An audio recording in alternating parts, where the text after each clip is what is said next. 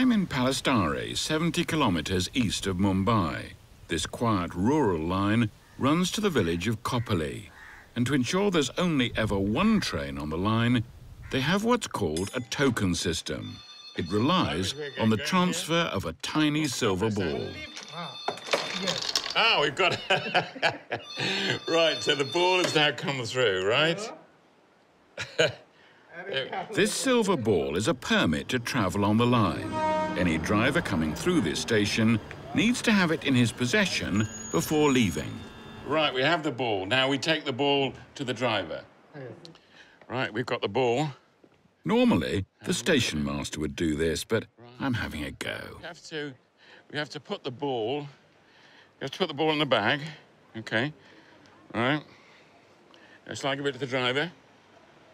Thank you. Safe journey. With the ball safely on board, the driver is allowed to set off. The machine only issues one ball at a time and then locks shut. It also sends a signal to its partner machine at Khopoli station, telling it that the line is busy. No more balls can now be removed from either machine, which means that no further trains can enter the track. It's a guarantee of safety for everyone on board.